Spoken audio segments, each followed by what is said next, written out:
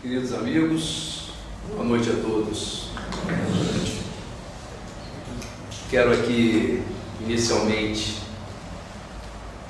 manifestar a minha alegria de estar falando para amigos, entre amigos. Perpasso o olho pela plateia, identifico alguns rostos, algumas caras que já me são conhecidas e que me remetem aos momentos bons, a essa história relativamente curta que eu tenho, desculpe o curta, de, o certo é curta, né? Essa história curta que eu tenho aqui nessa casa, nessa casa séria, nessa casa bem orientada. E é realmente um grande conforto falar assim para a gente amiga, para uma casa querida, para os corações que nos recebem com esse acolhimento, com esse carinho. A Ivone Pereira dizia que entre as poucas alegrias que ela teve nessa encarnação dela, essas alegrias foram lhe dadas pelas, pelo Espiritismo. Então ela dizia que as poucas satisfações ela, nessa existência ela devia à causa e ao Espiritismo. É óbvio que eu não tenho o mesmo nível de abnegação, de entrega da médium de Rio das Flores.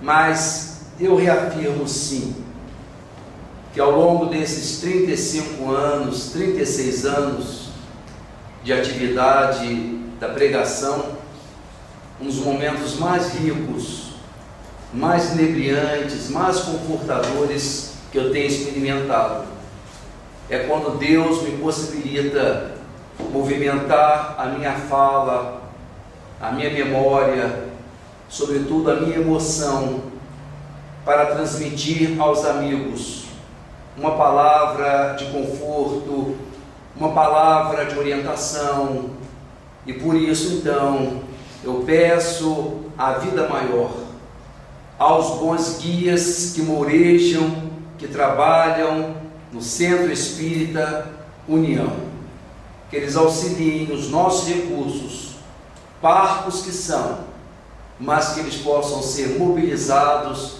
a fim de que nós possamos falar das coisas boas, dos aspectos positivos, dos aspectos engrandecedores da vida. Que Deus nos abençoe. Naquela noite de 29 de agosto de 1997, o menino Ives Ota, e eu abro parênteses aqui,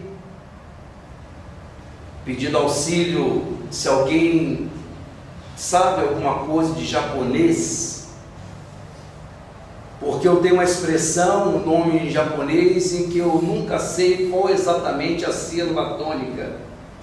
Então, se eu cometer o erro aqui de uma pronúncia errada, equivocada, por favor, perdoem aqueles que porventura saberiam o que seria a pronúncia certa. Mas Ibisota, um garotinho de oito anos, estava brincando na sala de sua casa, num bairro dessa cidade, quando foi sequestrado por três homens encapuçados. E daí a algumas poucas horas, o menino era assassinado com um tiro no rosto, porque identificou quando os, os sequestradores levantam o capuz e ele reconhece um deles, que era um guarda, uma pessoa que tomava conta, um vigilante de uma das lojas do seu pai, Masataka Ota.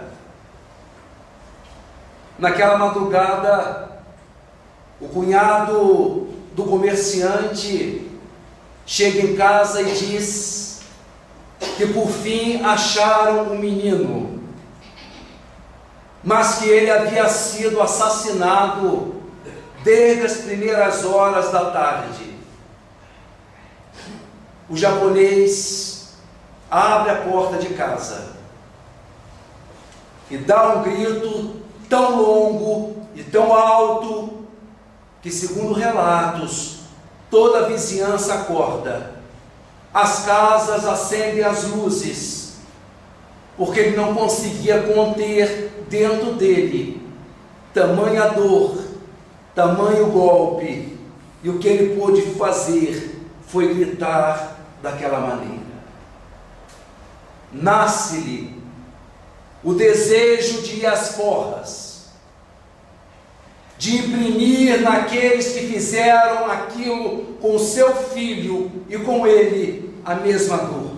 Se arma e se propõe a matar os três, ou ir à casa dos mesmos e matar-lhes os filhos, para imprimir neles a mesma dor que ele estava sentindo no seu coração.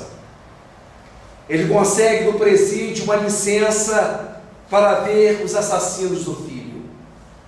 A licença concedia uma vista por um olho mágico, mas na hora H, ele consegue entrar dentro da cela dos três homicidas.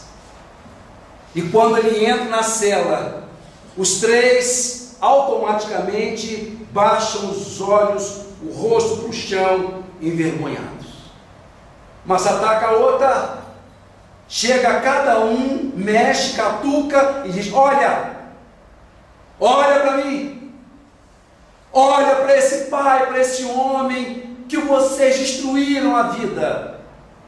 Por que fizeram isso pelo meu filho? Por que fizeram isso com o meu Ives? Nenhum dos dois se atreveu a falar nada. Nenhum dos três atreveram a falar nada. E eles saíram dali muito mexido.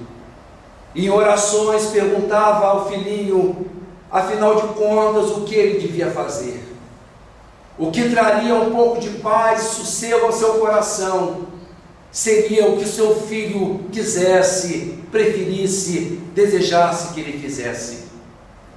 Ao longo do tempo, esse homem começa a descobrir que talvez o seu filhinho não quisesse ver o, pai assassino, Talvez o filho não quisesse que o pai se vingasse daquela maneira, até que um dia esse homem se vê curado do desejo de vingança. Em orações sentidas ao filho, diz: Filho querido, você pode ter orgulho do seu pai, porque ele é um homem digno, ele é um homem sério, e vai viver assim até o final dos seus dias. Essa experiência nos remete a um sentimento desejado por nós, pelo menos ao que parece, mas extremamente difícil de alcançar, que é o sentimento de perdão sermos capazes de perdoar. Um pai que dava emprego a três sujeitos que, por ganância, decidem assassinar o filho desse homem. Como é que um coração nosso, como é que um coração humano consegue lidar com essa coisa? Como é que alguém consegue revolver forças lá, sabe Deus da onde, e neutralizar aquele impulso mal, aquela coisa ruim que amafa, que machuca, que oprime, que amassa o coração? Todos nós, meus queridos, dizemos que perdoar é uma coisa maravilhosa, até que a gente tem alguma coisa para perdoar. É muito bom receitar perdão para os outros, mas às vezes não somos capazes de nós mesmos experimentar isso, porque perdoar, meus amados, não é fácil. Nós às vezes aprendemos, já ouvi várias vezes companheiros dizerem que você perdoa o outro para você se livrar daquilo. Há um entendimento de que você perdoa a pessoa para você ficar bem. E eu acho que não é bem isso que Jesus quis dizer com amar os inimigos. Esse não é um amor utilitarista. Então eu perdoo o outro para eu me sentir bem. Isso tem alguma coisa errada. Geralmente esse perdão, a gente perdoa a pessoa, mas alguém vem e diz e faz uma referência, a pessoa só não quer nem saber. Ó, não quero nem eu resolvi aquilo, nem estou aí. Mas aí se sabe se a pessoa teve um favorecimento, teve uma sorte, está bem. A pessoa quase inconscientemente fala com Deus: até isso, Senhor, até isso, até sorte ele está tendo. Esse perdão chama de perdão fajuta. É o perdão que a gente pensa na gente, que a gente pensa que resolveu aquilo.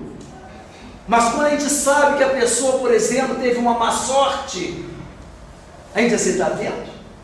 Nem precisei fazer nada.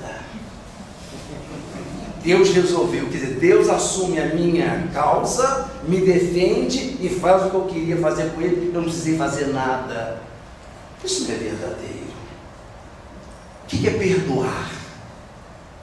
Perdoar é você oferecer à pessoa uma memória apagada. É você não ter nenhum registro de mágoa. É você deixar a pessoa nascer de novo com uma história nova na sua vida, do zero é não ter registro nenhum daquelas lembranças desagradáveis da pessoa.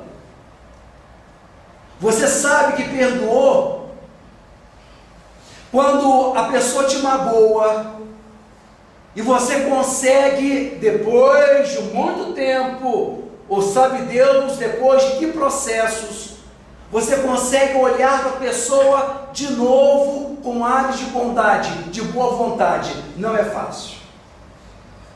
Perdoar é você então deixar que a pessoa surja de novinho, do nada, como se não tivesse feito nada para você. O exemplo é tosco, claro, mas eu me lembro de uma amiga que frequenta a minha casa espírita, que ao mesmo tempo que é uma pessoa muito querida a mim, é uma pessoa muito problemática. E às vezes ela me dá carona quando eu vou sem carro para casa e eu vou. Tem noites que eu vou para casa feliz, é um papo que funciona, que acontece, é uma coisa agradabilíssima. Mas tem noites que ela cisma para me atazanar. Sabe, você fala uma coisa, vem outra resposta, você diz, meu Deus do céu, não foi isso que eu falei, e vai o trajeto inteiro de desencontros, de falas atravessadas, de insinuações. Eu às vezes penso que ela está falando em duplo sentido, aquilo me agonia. Eu saio daquele carro. Já ouviram falar em ódio cristão? em raiva evangélica. É assim que eu saio do carro. Eu vou para casa, mas nossa, nunca mais eu pego carona. Eu vou a pé para casa, mas eu não pego carona. Destruindo a noite do nada. Eu vou indignado. Mas, meus queridos, na semana seguinte, eu entro naquele carro como um sem vergonha. Oi, tudo bem? Eu não Eu sei que o exemplo é muito simples. Isso não é nada, é uma pessoa que gosta de mim, que me trata bem. Mas de alguma forma nós nos alteramos. Nós somos muito melindrosos, as coisas nos chocam, nos machucam, as coisas nos alteram de uma forma intensa do nada. Já viu uma coisa mais agradável que é você estar na esquerda de uma via dirigindo e porque não tem ninguém, você se permite andar nela na sua velocidade sem correr e do nada aparece um sujeito lá toda vem atrás de você piscando em velocidade, exigindo que você saia dali. Eu sei que todos vocês devem gostar muito disso, mas eu sinceramente fico olhando, meu Deus, que agressividade é essa? Ele não estava nem na via, ele aparece, ele em velocidade, ele fica atrás, buzinando e, e, jogando a luz, encostando o carro dele na traseira do meu, e eu me sinto aquela pressão. Aí nasce de novo aquele sentimento evangélico.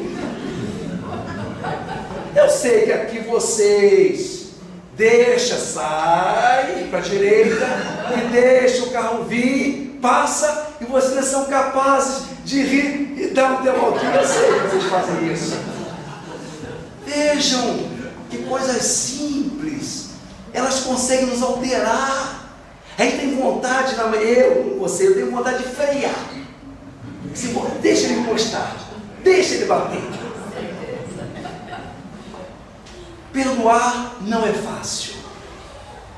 Oferecer ao outro essa memória apagada, neutralizar aquele impulso de vingança, aquilo desaparecer da gente, e a gente olhar a pessoa de novo com ar de bondade, com olhar de bondade, se é, por exemplo, uma pessoa que a gente conhece, que tem uma certa convivência, se é uma pessoa alegre, ela gosta de fazer piadas, é um jeito, é uma pessoa engraçada, ela desperta riso de todo mundo, ela fala uma coisa e todo mundo ri.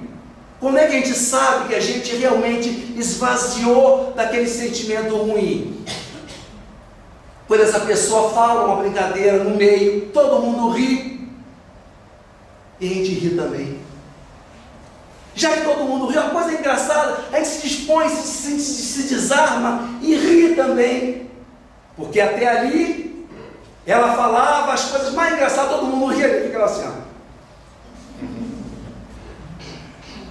Quando a gente se propõe a desarmar, quando a gente consegue limpar o coração daquilo, daquele sentimento ruim em relação à pessoa e vê-la de novo, nova, uma história totalmente limpa na nossa vida. Isso é perdão. Daí Jesus usar aquela bela imagem: se alguém te ofender numa face, vira outra. Porque a face machucada, aquela que foi golpeada, por mais que a gente queira oferecer a mesma, ela talvez ainda tenha as marcas do tapa. Talvez ela ainda esteja dolorida. Talvez ela ainda esteja vermelha. E se nós dermos a mesma face, ela tem as marcas do golpe anterior. E Jesus sabe e diz: dá outra face, porque essa está limpinha, essa está virgem, essa está nova.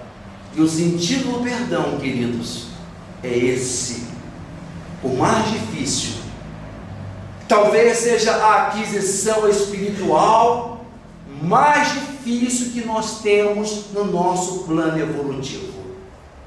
Ninguém se engane, porque às vezes nós não nos vingamos porque não temos condição de fazê-lo, porque não existe coisa pior do que o inimigo mais poderoso que a gente. A gente fica aguardando uma chance a gente fica aguardando uma oportunidade para ir às forras. E o desgraçado não dá oportunidade. Nós podemos nos vingar. É da natureza humana o revide. Existe talvez em nós um senso de justiça que apela para a vingança. A lei de Moisés dizia olho por olho, dente por dente ao que levou Gandhi a dizer, a prevalecer essa regra, o mundo seria um mundo de caolhas e desdentados. Porque se nós fôssemos tirar o olho e o dente daqueles que nos machucam, realmente não ia ter ninguém com a dentição total. Nós podemos nos vingar, é uma opção. Mas lembrem-se de que quando nós procuramos o revide, quando nós elaboramos um plano e conseguimos realizá-lo e colocar a pessoa, colocar a pessoa no seu devido lugar, fazer com que ela sinta o que ela fez conosco, isso nos torna tão iguais ao inimigo que nós ficamos meio que parecidos irmãos gêmeos do inimigo. Não é produtivo, irmãos. Humilhar, perseguir, levar o outro ao extremo, ao desespero, não é fácil, não é bom. Alguns dizem que o que levou Adolf Hitler ao poder da Alemanha foi exatamente foram as regras, a humilhação que a Alemanha sofreu pelo Tratado de Versalhes depois da Primeira Guerra e o mundo explodiu em horrores. O gato, o gato é um animal sinistro, é um animal estranho. Quando você o empurrá-la, ele vai para trás. Ele recua, recua, recua enquanto você está empurrando. Mas o gato, quando ele não pode mais recuar, quando ele não pode mais ir para trás, o que resta a ele? Pular em cima do agressor. E às vezes, levar a pessoa a esse desespero é algo muito desastroso para nós. Então, o perdão, o perdão verdadeiro, envolve uma manifestação de amor. Jesus, quando nos pede para perdoar os inimigos, ele está se referindo ao mandamento do Levítico: amar o, o, próximo, o amigo, como a si mesmo. E ele então diz: Ouviste que foi dito, amar o outro como a si mesmo, e eu, porém, vos digo: amai os vossos inimigos. Jesus estava se referindo ao mandamento do Levítico, um dos cinco livros atribuídos a Moisés. Mas o Levítico, meus irmãos, é um livro de leis, é um livro de regulamentos. E quando a gente regulamenta, quando a gente estabelece a lei, nós não somos plenamente livres, é um mandato, é um regulamento. Então, e se o amor é uma manifestação livre, nós temos de transcender o gesto de perdoar alguém envolve um sentimento de amor. O perdão seria inexplicável do ponto de vista da justiça, porque fez, leva, tomou, apanha.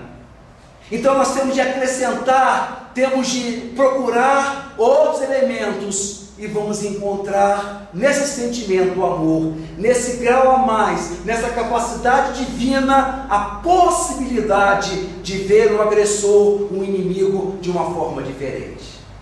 Talvez um dos sentimentos, um dos mais reveladores do que pode a pessoa, em base de amor, perdoar outra, é o sentimento de mãe para filho. Quantas vezes o filho é um irresponsável, é um perdido, é um desorientado, é um João ninguém. A vizinhança fala mal dele. Algumas amigas vão recriminar aquela mãe porque dá boa vida àquele filho cafajeste. Pois ela dá chance, chances e chances quantas ele precisar.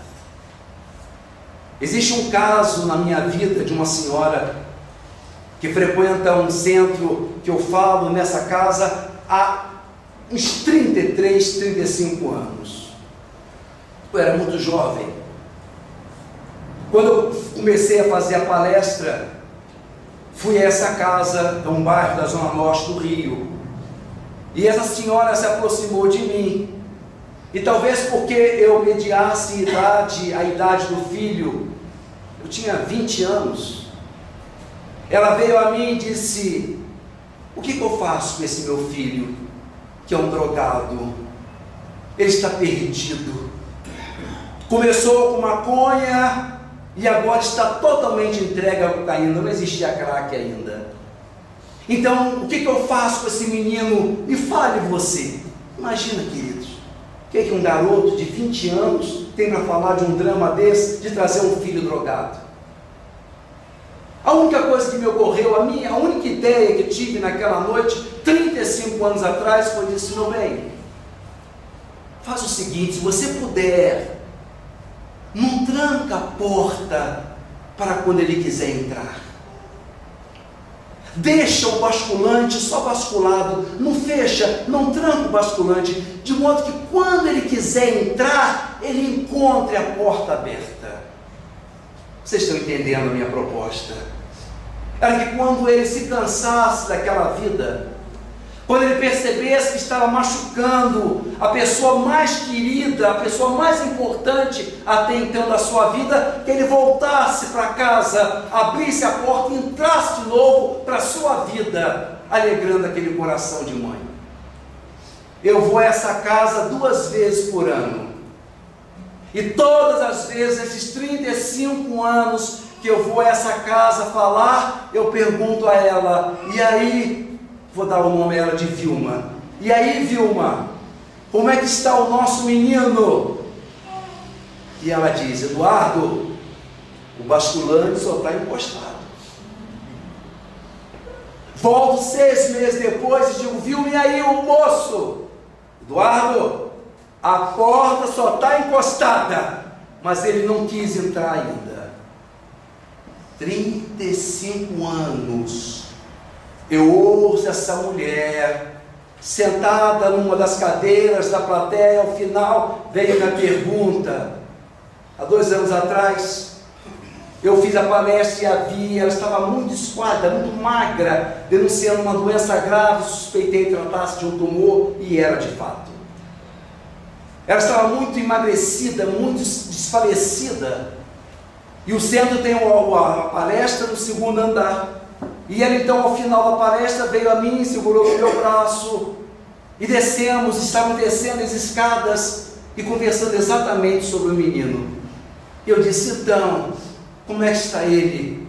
Assim, ah, Eduardo, você não tem ideia. Você não tem ideia do que eu tenho sofrido e o quanto que eu amo esse infeliz desse garoto. Você acredita que um dia desse eu estava na poltrona que sobrou da minha mobília.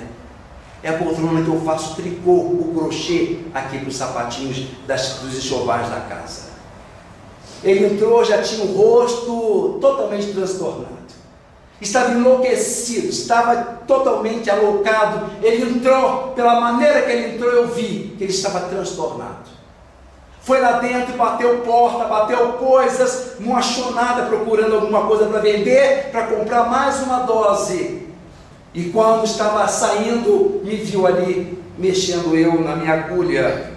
Só eu sei como é que eu controlava a minha mão para não começar a tremer e chorar. Mas eu olhei para ele, mexendo naquela agulha de tricô, fazendo e ele olhando para mim com olhos de ódio. E eu olhei para mim mesmo dentro de mim e cantei assim, Eduardo: Se eu não te amasse tanto assim, só o amor consegue fazer isso. Só o amor consegue fazer com que a gente dê uma chance à pessoa. É como se ela não nos fizesse nada. É como se a gente desse a ela outra chance, outra chance, outra chance. Me lembrando de Chico Xavier, quando uma senhora foi a ele, então Chico, é verdade. A pergunta que Pedro faz a Jesus, mestre, então eu devo perdoar quantas vezes? Jesus diz, 70 vezes, 7 vezes. E o Chico respondendo para a senhora, dizendo assim, minha senhora já fiz a conta, dá 490. Aí a senhora faz o seguinte, dizia o Chico. A senhora, a pessoa faz uma agressão, a senhora perdoa. Olha, uma mãe. A pessoa faz outra, Aí a pessoa lesa e vai, e vai. Eu digo à senhora, a senhora faz o seguinte.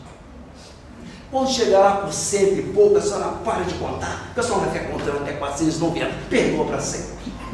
Era a singereza com que o nosso Chico falava a respeito dessa coisa dessa oportunidade que só o amor consegue fazer nessas relações complicadas. Mas, se é o amor de mãe que permite a ela fazer aquilo pelo filho, dar a ele tanto. Olha, hoje o, o, o Cláudio que me dirige a reunião disse que eu posso falar até as 10h40.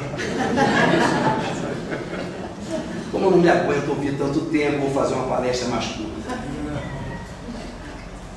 Interessante que se é o amor da mãe pelo filho que faz com que ela ultrapasse todos esses momentos bem, eu fico muito curioso para saber se numa noite dessa qualquer, ele num momento enlouquecido, ligasse para a mãe e dissesse: Mamãe, hoje eu não vou dormir em casa não. Porque tenho uma senhora que trata de mim tão bem de mim como a senhora. E eu vou dormir na casa dela hoje, porque eu me sentindo melhor aqui do que na casa da senhora. Eu queria saber se ela ia gostar, se ela ia perdoar o filho como outras vezes ela perdoou. Não perdoa. Não perdoa da mesma maneira, aquilo dói mais do que as noitadas enlouquecidas nos morros comprando droga. Simplesmente porque isso mexeu na relação dos dois. Ele era o perdidão, desorientado, maluco, mas a relação dela era com ele, de mãe e filha, e mãe e filho. Se ele rompe isso colocando uma outra pessoa nesse papel, isso é um desafio ainda maior. E é por isso, então, talvez, que na relação a dois, a gente suporta o outro se ele é grosseiro, se ela é ciclotímica, varia de humor, se ele é solvina, se ela gasta demais, nós perdoamos isso tudo. Mas a traição, aí é demais. perdoar quem nos passa para trás, naquilo que é a relação de dois, não é fácil. Não é fácil porque isso atinge a natureza da relação. Daí que perdoar traições na relação de vida a dois não é fácil. Mas existe. Existe. Em 2016, em abril de 2016, eu fui a Chapecó fazer uma palestra na Sociedade Espírita Bezerra de Menezes. E eu anunciei o tema Amor, Alimento da Alma. E essa senhora se mobilizou aí a palestra, porque tinha problemas dessa natureza com o marido e fez com que ele jurasse que ia à palestra, imaginando que talvez o que eu falasse pudesse alterar a conduta desse homem. E ela então sentou-se no auditório, sentou mais para trás, enquanto começaram os preparativos, ela olhava para ver se ele vinha. Eu comecei a palestra e ele não chegava. Eu falava, ela olhava para trás e ele não chegava, incomodada, porque ele prometeu a ela que iria para a palestra e ela se sentiu muito frustrada. Até que em determinado momento dessa palestra eu chego a dizer que às vezes o amor compreende aceitar o outro no seu time, na sua velocidade, no seu tempo. Às vezes a pessoa não anda no mesmo nível, no mesmo padrão que nós gostaríamos.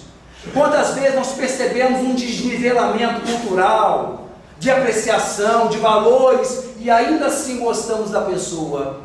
Então dizia que o amor, ele, até isso ele faz, unir diferentes, pessoas de níveis diferentes, consegue uma tônica de sentimento, de afinidade, que troca a relação a dois. Ela ouviu isso e tomou para si. É como se ela tivesse assumir que ele era daquele jeito. E ele então, durante a palestra, ao final dela, ela decidiu: eu vou ser diferente.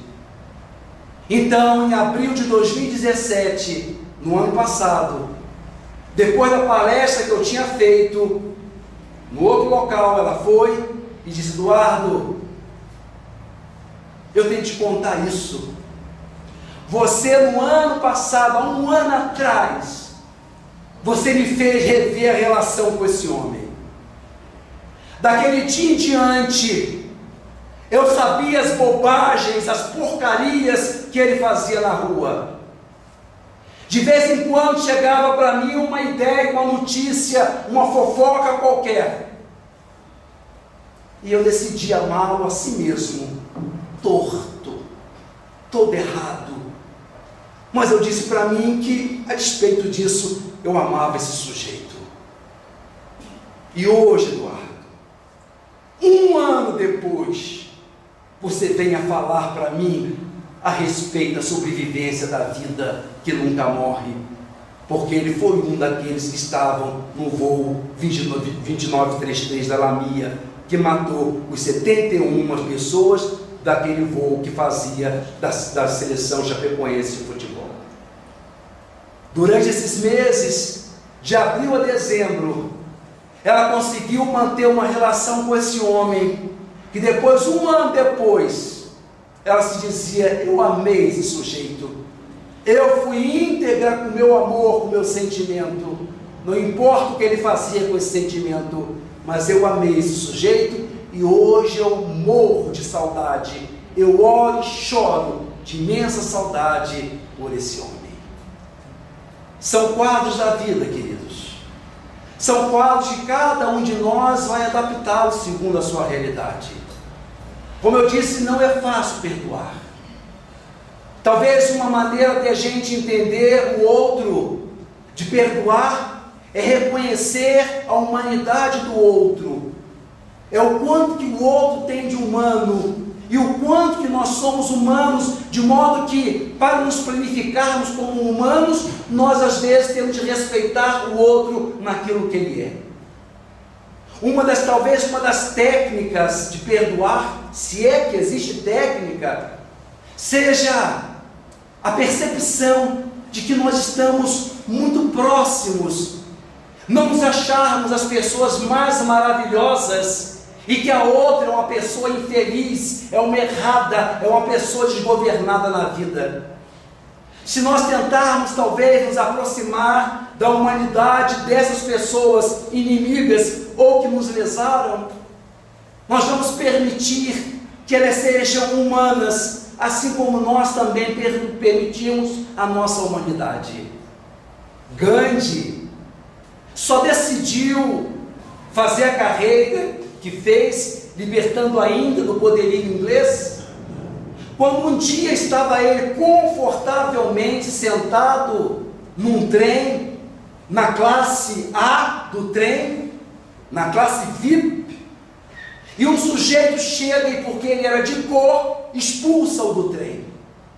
Quando ele é jogado para fora do trem, ele começa a perceber qual era a dor, o nível de sofrimento que os seus irmãos de cor sofriam também. E ali, uma semana depois, ele reúne todos os indianos dispostos e começa a sua campanha de não violência que tiraria a, Índia do poderio inglês.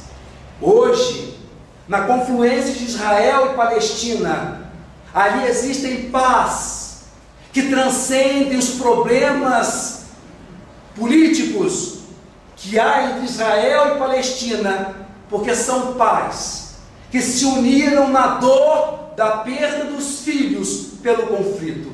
E a dor uniu essas crianças, a dor uniu essas famílias. Então eles esquecem esses problemas de briga entre os palestineses e os israelitas e fazem um pacto para trabalhar em nome da paz, porque se uniram na dor, no sentimento comum de perder um filho por aquele complicado conflito. Então, às vezes, é o reconhecimento da nossa humanidade, do quanto que temos em nós do outro, do quanto que nós nos permitimos ser como nós mesmos somos, é que damos ao outro a possibilidade de ser errado, e dar a ele a possibilidade, mais uma chance também, como nós damos a nós mesmos. Então, quando nós nos aproximamos e não nos sentimos tão maravilhosos, tão melhores, essa proximidade pode nos auxiliar a identificar o outro como sendo humano e possível, passivo de erro, como nós. Como eu disse, não é fácil perdoar. Um dia desse, me permita uma experiência particular. Eu estava num supermercado próximo à minha casa, um mercado pequeno, e eu conduzindo o meu carrinho de compras, sem querer, totalmente sem querer, esbarrei um pouco num carrinho de uma senhora. Ela estava apoiada no braço do carrinho dela de compra, esperando a fila, mexendo no celular, mas ela estava tão relaxada, ela estava tão ali confortável, mas ela estava numa rede, mexendo no celular. E eu passo com um carrinho e esbarro no carrinho dela, o carrinho de compra faz aquele barulho. Para, que isso? O senhor não olha, não? Mas ela falou com uma agressividade. Ela falou com uma raiva. Parecia que ela estava esperando aquilo, ela explodiu. E meus queridos, me contaminou. Mas eu fiquei tão indignado. Eu fiquei com tanta raiva daquela senhora porque eu esbarrei no carrinho. Não era para aquele espetáculo todo. E aí eu parei com o carrinho, ela gritando daquele jeito, e eu segurando meu carrinho comecei a tremer. Comecei a ficar nervoso se eu volto ou não volto. Eu volto ou não volto botar ela no lugar dela. De vontade de fazer isso, queridos. E esses primeiros segundos são os mais críticos. Esses primeiros minutos, nós temos de travar uma briga hercúlea com nós mesmos na vontade de ir lá e falar a mesma coisa, se não pior. Mas eu comecei a pensar: se eu for lá e ela descer mais o nível, até que ponto eu estou pronto para descer junto com ela. Até que ponto eu vou na agressividade. E comecei a pensar que a minha proposta é procurar dessa boca sair coisas positivas. Lembrei do meu compromisso, da minha tarefa de falar coisas boas e imaginei que dessa boca, tanto quanto possível, pudesse não sair coisas ruins. E tremendo. E decidi não ir. Até porque, pensei eu, imagine as pessoas que me veem ali na rua, todo dia, para lá e para cá, um gesto de bom moço, boa gente. Eu já fiquei imaginando. Quem visse ali brigando, discutindo, vociferando com aquela senhora, já fiquei imaginando quando eu passasse na rua assim, aquele ali, ó. Aquilo é tão boi para não entrar na briga. Mas dá uma boiada para não sair. Já fiquei pensando que ia falar de mim. Comecei a ficar vergonha. Disse, não, pai, isso não condiz com você. Aí fui, meus queridos, eu digo a vocês, por longo tempo Aí fui para minha fila, ainda tremendo. Decidi não ir. Não responder à altura que, a meu ver, ela merecia. Fiquei lá eu olhando ela na fila dela. Mas também, tipo assim, pensava, ah, se o cartão dela emperra na mão, ela não consegue pagar pequenas maldades, nem precisava fazer nada. Aí quando ela passou, as como que nada aconteceu, assim, quem sabe se lá fora a bolsa dela não arrebenta, e claro, tem que estar passando na hora para ver, de olhar. Mas graças a Deus, Vocês merecem mais sinceridade em mim. Não foram poucas horas, foram alguns dias. Eu faço caminhadas matinais e nessas caminhadas eu ia cobrando de mim. Eduardo, você tem que superar aquilo, você não pode ficar com aquilo. E meus queridos, eu acho que hoje, se eu a vir no mercado, eu consigo neutralizar aquela coisa ruim. Eu me lembrei também que eu estava muito agitado, muito corrido. Será que eu também não bati mais forte no carrinho do que eu pensei que bati? Talvez ela não estivesse no seu dia melhor, talvez ela estivesse com problema, tudo aquilo. Eu levei tudo isso em conta para não revidar, para não me vingar, e posso dizer que eu estou melhor do que eu estaria se eu tivesse revidado. Não é fácil. Talvez seja a última aquisição espiritual que nós possamos almejar nesse mundo. Seja a capacidade de perdoar, de entender o outro na sua humanidade, nas suas possibilidades de erro. Quando nós talvez descemos da nossa condição de maioridade, de maiores, de grandiosos, isso ajuda. Sempre me chamou muita atenção Jesus dizer que os publicanos e as meretrizes entrarão primeiro no reino dos céus do que vós. E eu fico tentando entender o que, que Jesus queria dizer com os publicanos, traidores da pátria aqueles que tiravam dinheiro dos seus conterrâneos e mandavam para Roma, essa gente que envergonhava a nação, que tinha vergonha do que faziam. O que, que Jesus queria dizer quando dizia que essa gente e as meretrizes entrariam primeiro no reino dos céus do que vós? Os dois grupos que, embora fizessem o que faziam, tinham vergonha de si, tinham uma falta com eles próprios, se sentiam humilhados com eles mesmos, porque reconheciam que estavam errados. Talvez, queridos, seja isso que Jesus quisesse dizer, na medida em que nós conhecemos os nossos erros, as nossas possibilidades de engano, desconstruirmos aquela ideia de que somos as melhores pessoas do mundo, que fazemos sempre certo. E isso talvez nos ajude a nos aproximar do outro, sobretudo em base de amor, compreendendo talvez o sofrimento do próximo. Quem nos dá uma lição nesse sentido é Homero escrevendo a sua Ilíada 800 anos antes de Jesus, ele mostra o que pode, o milagre que pode acontecer quando nós damos ao inimigo a possibilidade dele mostrar as fragilidades dele. É um incidente que ocorre entre a guerra entre Troia e os gregos, uma guerra de 10 anos.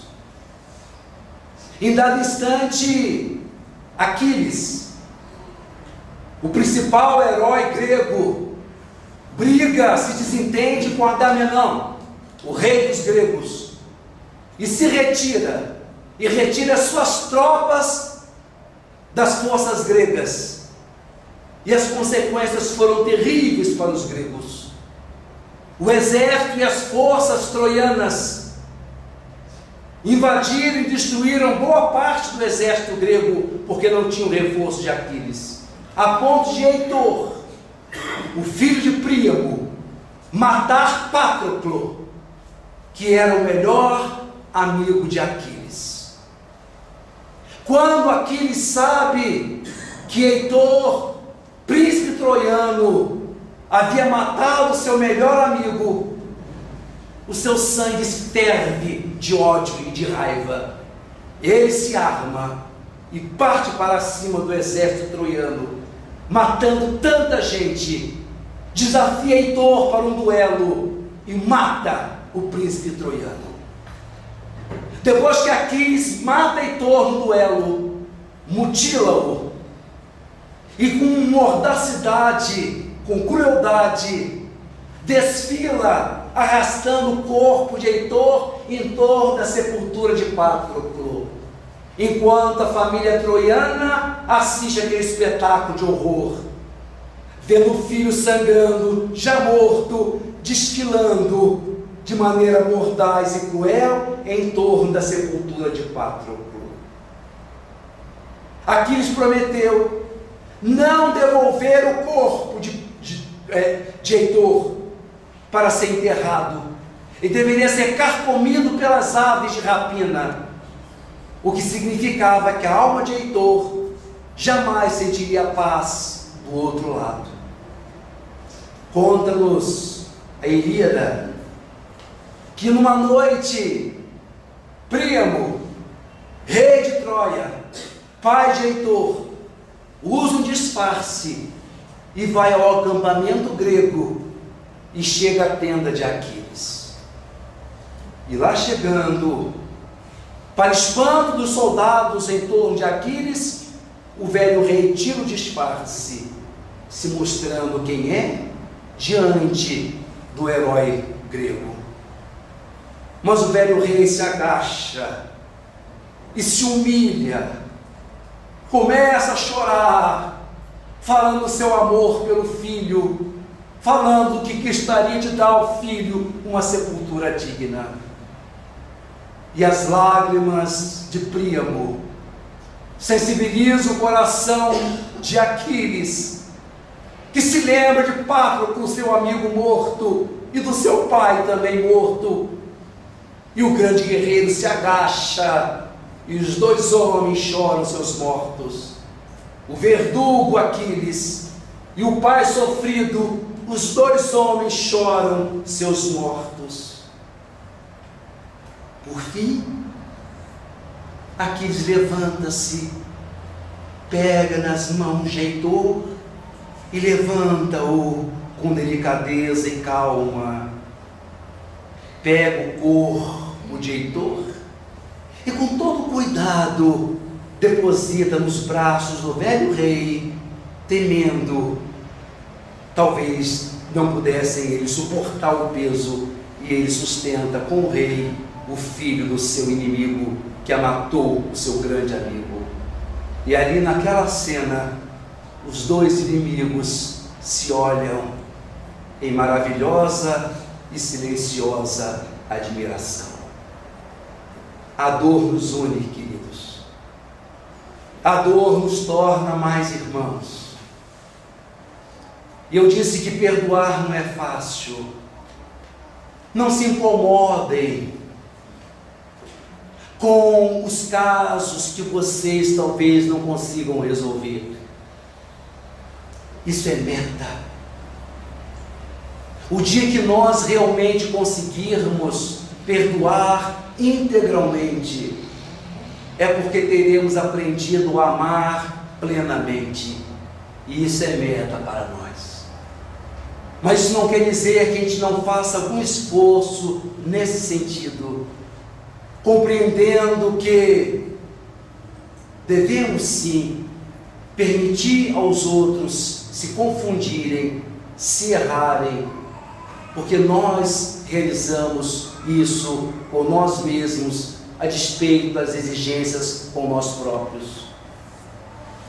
Me perdoem, queridos, essa divagação ao longo desta hora, falando a vocês uma proposta que está talvez acima de alguns de nós, talvez de nós todos, mas é a meta. E se talvez eu não quisesse ter falado todo esse tempo para vocês sobre perdão, sabe por quê? Sabe por que, que nós devemos perdoar o outro? Sabe por quê? Que nasce num dever de consciência em nós, entender o outro nas suas fragilidades, nos seus erros? É porque, meus amigos, estamos todos no mesmo barco. Boa noite a todos. Mestre Jesus, Mais uma vez que agradecemos, Senhor, as palavras de conhecimento e responsabilidade. E acima de tudo, Mestre, te rogamos para que possamos colaborar exatamente com os encarnados na socialização e na expansão do amor universal. E sem teu recurso total em nossas mãos, nós não poderíamos agir de maneira a contento na expansão do amor universal. Porque muitas vezes em nossos corações são migalhas aquelas que estendemos junto às nossas mãos. Senhor Jesus, se conosco para que transbordem de amor, não de gestos, as nossas mãos, para que os nossos braços, ao se levantarem, abracem o nosso semelhante com o nosso pensamento e sentimento, não com os nossos braços. Senhor Jesus, se conosco para que possamos entender que muitas vezes, através do pensamento, nós podemos dar, junto com o mundo espiritual, uma centelha enorme de calor e de amor.